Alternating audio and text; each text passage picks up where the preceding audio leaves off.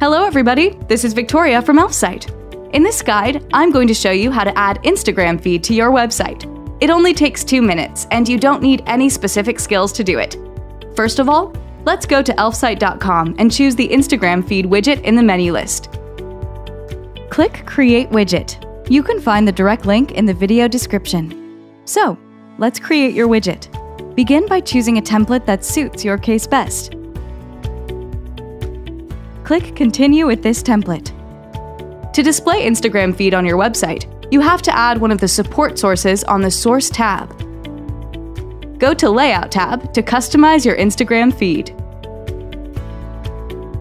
That's it! Your widget is ready!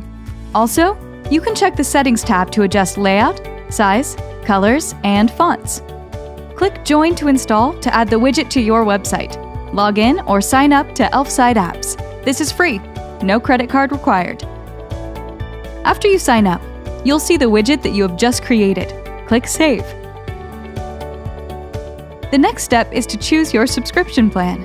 You're very welcome to start with Lite, but keep in mind that your 20% discount is valid only for 24 hours.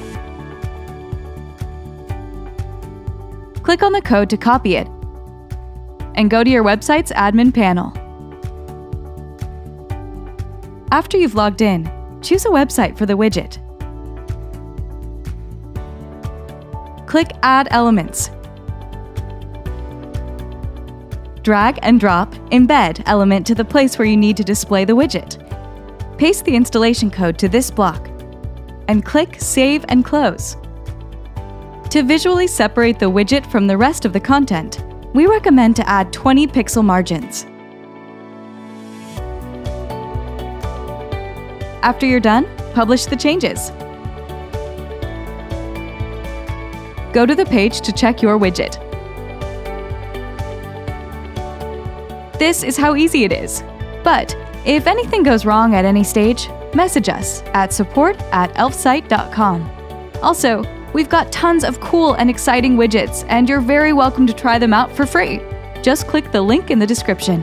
Thank you for watching this video. Enjoy your day!